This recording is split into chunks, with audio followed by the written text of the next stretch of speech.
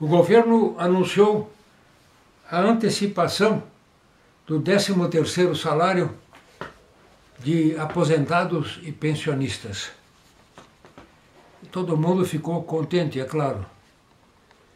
Mas o país vive uma eh, situação de aprender ainda a ser austero.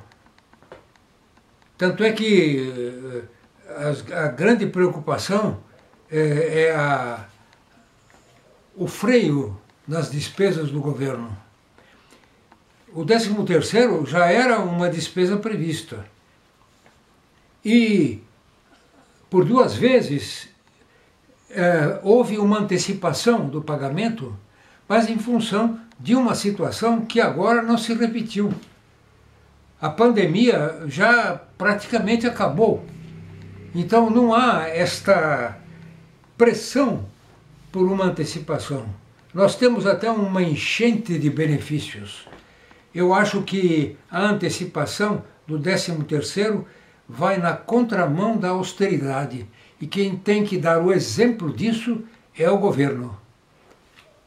Até a próxima.